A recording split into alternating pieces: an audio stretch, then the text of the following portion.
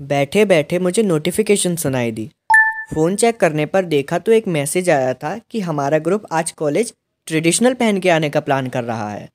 तो बस, मुझे भी याद आई अपनी धोती कुर्ते की। ये रही मेरी धोती और ये रहा कुर्ता। और मैं भी तैयार। फाइनल टच वैष्णव तिलक से। बस बस, ज़्यादा मत देखो, अब मुझे शर्म आ रही है।